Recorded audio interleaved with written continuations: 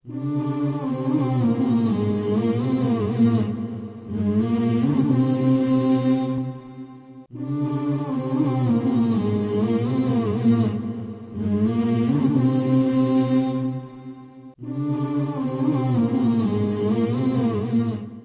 الله الرحمن الرحيم والحمد لله رب العالمين والصلاة والسلام على سيدنا ونبينا أبي القاسم المصطفى محمد وعلى أهله الطيبين الطاهرين.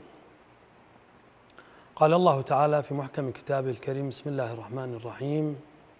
لقد كان لكم في رسول الله أسوة حسنة. كيف لنا أن نتأسى برسول الله صلى الله عليه وآله؟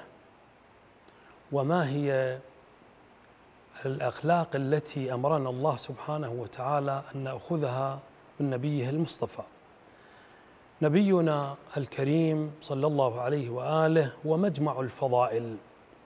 حتى أن الله سبحانه وتعالى بين ذلك في كتابه العزيز وقال مخاطبا النبي صلى الله عليه وآله وإنك لعلى خلق عظيم لكن تعال إلى ما قاله النبي صلى الله عليه وآله مخاطبا المؤمنين جميعا.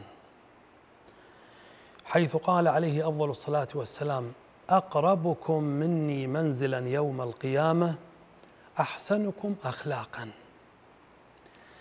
الموطؤون اكنافا الذين يألفون ويؤلفون.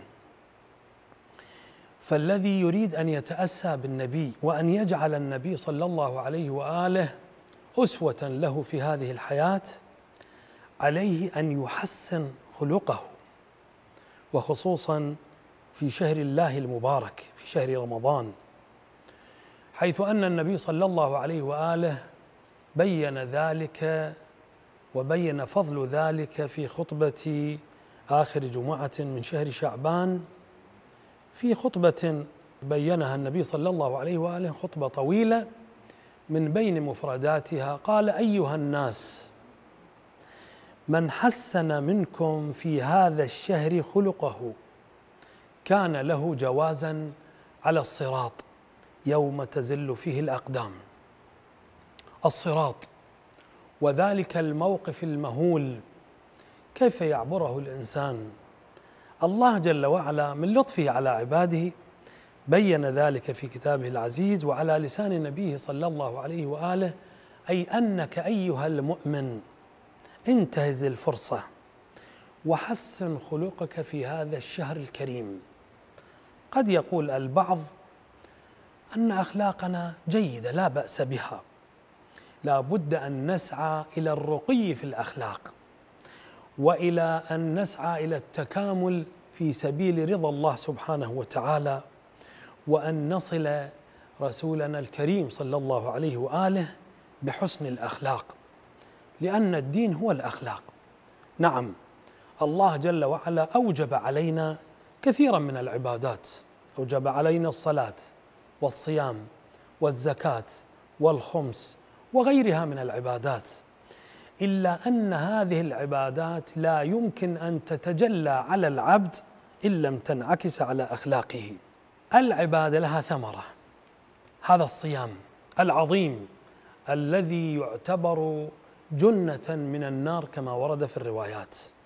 لكن هذا الصيام لا يقتصر الصائم على ترك المفطرات بل لا بد له أن يسعى إلى أن يكون امثولة للأخلاق الطيبة والحميدة. لا فائدة من صومه إذا كانت أخلاقه والعياذ بالله أخلاقا سيئة لأن العبادة كل العبادات لها طرفان. لها طرف طرف الصحة أي يحكم على صحتها وعلى فسادها. ولها طرف آخر وهو طرف القبول أن الله سبحانه وتعالى يرفع المؤمن. ويثقل ميزانه عند الله سبحانه وتعالى وهذا لا يكون إلا بحسن الأخلاق بالأخلاق الطيبة. ولا نتعب أنفسنا إلا أن نقرأ سيرة نبينا صلى الله عليه وآله وسيرة الآل عليهم أفضل الصلاة والسلام ونجد أنهم كيف كانوا يتعاملون. لذلك ماذا قال رسول الله صلى الله عليه وآله في هذه آه، في هذه المفردة أو في هذا المفصل من مفاصل خطبته في بيان شهر رمضان؟ قال من حسن منكم خلقه كان له جوازا على الصراط يوم تزل الأقدام. الصراط ذلك الطريق الذي لا يقوى عليه الإنسان بقوة عضلاته ولا بأمواله ولا بمنصبه ولا بعشيرته إنما يقوى عليه بعمله الصالح. وكيف يقبل ذلك العمل الصالح؟ ولا يكون الإنسان قد تحلى بالأخلاق الفاضلة. نسأل الله سبحانه وتعالى أن يجعلنا وإياكم من السائرين على نهج النبي صلى الله عليه وآله وأهل بيته الطيبين الطاهرين والسلام عليكم ورحمة الله وبركاته.